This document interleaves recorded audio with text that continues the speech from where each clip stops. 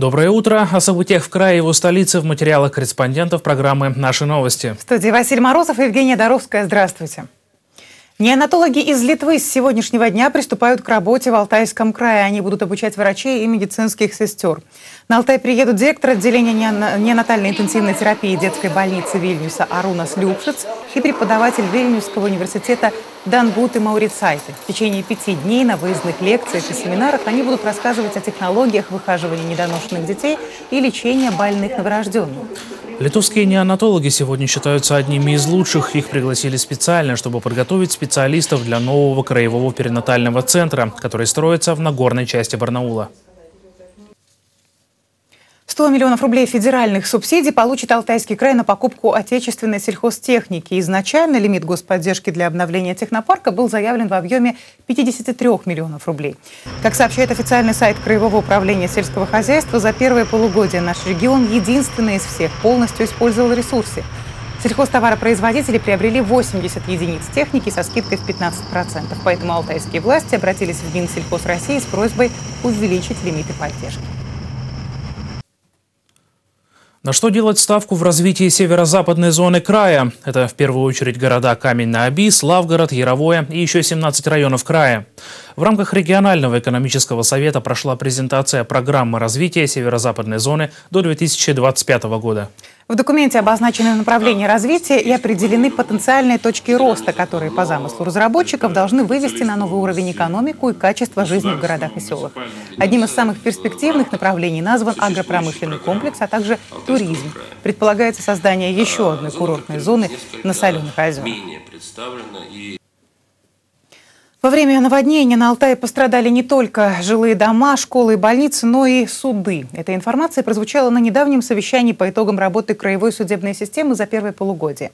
Стихии повреждены здания Черышского, Быстростокского и Солонешинского районных судов. На их восстановление потребуется без малого 14 миллионов 164 тысячи рублей. Краевой суд уже запросил на это дополнительные бюджетные средства. Кстати, в том числе на совещании было отмечено, что от небывалого паводка пострадали 35 работников органов правосудия, и каждому уже выплачена материальная помощь в размере фонда оплаты труда.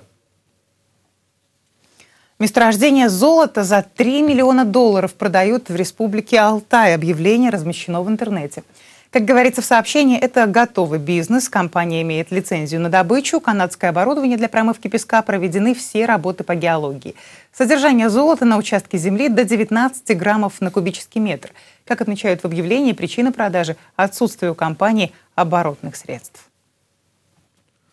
В Бийске увековечили память единственной в Алтайском крае женщины-танкистки Нины Ширяевой. На доме, где она жила, установлена мемориальная доска с именем героини. Перед началом Великой Отечественной войны юная Нина успела закончить летные курсы в Бийском аэроклубе, добровольцем ушла на фронт и служила в части Московской противовоздушной обороны. Затем было тяжелое ранение, госпиталь и заключение врачей о полной непригодности к авиации. Но она не сдалась. Сменила воздушные войска на наземные и стала командиром танка Т-34. Среди наград Нины Ширяевой орден Красного Знамени, Отечественной войны первой и второй степени, медали за победу над Германией. На церемонии открытия мемориальной доски присутствовали дети Нины Ильиничны. Первый ее танк под ее командой ворвался на Дуклинский перевал. Единственная женщина, танкист, командир танка, и ворвалась в позиции немцев. Они, конечно, были ошарашены. За это был удостоен ее памятник поставили, э, танк, вернее, с номером машины, на котором она воевала. И он очень долго там стоял. Фотографии особых детей могут увидеть барнаульцы на экспозиции, которая работает в галерее современного искусства «Проспект». Эта выставка стала своего рода итогом фотоконкурса, который прошел в рамках социального проекта «Принимайте нас равными». Его участники запечатлены на фотографиях э, разные моменты жизни детей с ограниченными возможностями. Герои этих работ не выбирали, какими родиться, но сделали выбор, как прожить свою жизнь. Они не закрылись от мира, как отмечают фотохудожники, а обрели интересы и верных друзей. Именно это жизненное правило постарались отразить в своих работах барнаульские фотографы. Мама снимает, а мы тут снимаем, да?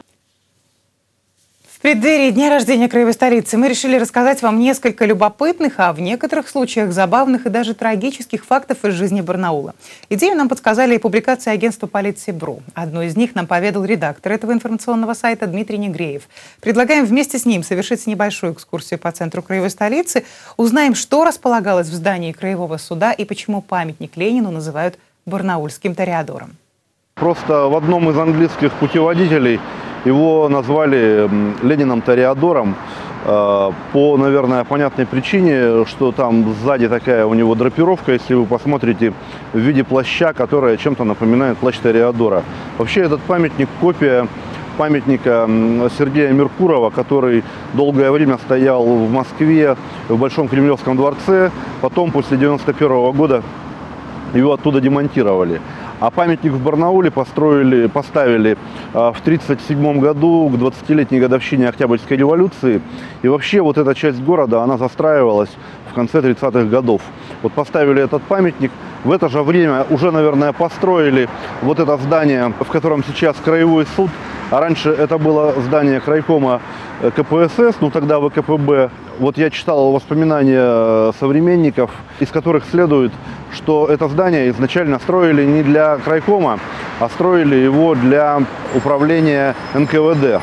А когда в 1937 году было принято решение о том, что из Западносибирского края выделяется отдельно Алтайский край, то якобы по распоряжению Сталина э, это здание у чекистов забрали и передали его э, крайкому ВКПБ. Но на самом деле, скорее всего, это правдивая история, потому что вот дом, который напротив мы видим, этот дом, это жилой дом, э, его построили тоже где-то в 1937 году, и он э, был построен для сотрудников НКВД. И вот если вы обратите внимание, вот там вот над аркой наверху есть чекистский герб. В 1941 году построили гостиницу «Алтай».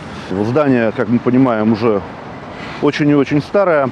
Вот э, в том крыле ее, которое по Анатолия был на первом этаже ресторан «Алтай», вот тут был гастроном, вот там, где аптека, там был кулинарный магазин, а со стороны интернациональной в том же доме был овощной магазин, э, в котором иногда раза два, три, четыре в год продавали апельсины.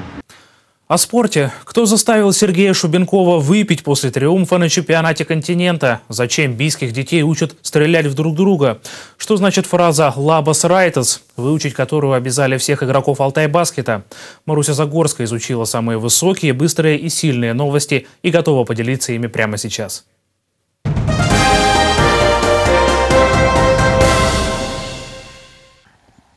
Не все барнаульцы потратили минувшую ночь на сон. Сергей Шубенков, выдающийся легкоатлет, а по совместительству наш земляк, к примеру, выиграл золото чемпионата Европы. В Цюрихе Шуба, как его называют фанаты, бежал и прыгал, бежал и прыгал и снова бежал. Быстрее своего визави, лидера сезона Паскаля Мартина Лагарда из Франции. Коронную дистанцию в 110 метров барьерист преодолел за 13,18 секунды. Отбившись от журналистов и поклонников, новоявленный чемпион отправился пить безалкогольное пиво. Не удовольствие ради, дело для. Шубенкова обязали сдать дополнительные пробы на допинг, а пиво спортсмену выдали в лаборатории. Чтобы, что называется, ускорить процесс. На неприятную процедуру Сергей пожаловался в собственном твиттере. На сборах алтайские баскетболисты смогут отработать не только технику броска и приема мяча, но и дикцию. Посудите сами, предсезонную подготовку Алтай Баскет проведет в литовском городе Друскиненкой. Первой скрипкой в обновленной команде станет Линас Ликавичус, который каждое утро будет желать своим партнерам «Лабас Райтес», то есть «Доброе утро». Первую половину межсезонья алтайские баскетболисты посвятят общей физической подготовке и отработке тактических схем. Во второй половине сборов Алтай Баскет примет участие в двух международных турнирах. Можно сказать, за этим мы ехали в Латвию, баскетбольную мекку Европы. Сидеть в укрытии тихо, атаковать неожиданно. Бийские подростки осваивают искусство войны. Две команды, общая линия фронта, автоматные очереди и ни одного раненого. Мальчишки играют в лазертаг. Пылу боя, конечно, можно оступиться и разбить колено, но от выстрела вреда точно не будет. Оружие, которое выглядит как боевое, стреляет лучами. Эти самые лучи улавливает прибор, надетый на жертве. И если снайпер попал в цель, убитый чувствует легкую вибрацию. Организаторы уверены, такая войнушка должна вернуть детям любовь к дворовым играм и отвлечь их от компьютерных стрелялок. Помимо тренировок, на ловкость и силу подростки учатся мыслить стратегически. Лучше, чтобы захват флага, лучше, чтобы твой флаг охраняли с двух сторон, и какой-нибудь один человек бежал к флагу других соперников. Маруся Загорская, Мария Минаева, Андрей Сигаев. Наши новости. Ну что ж, у нас к этому утреннему часу все новости. Впереди еще прогноз погоды. Напоминаем, телефон редакции 659-129. Хорошего дня и до встречи в эфире.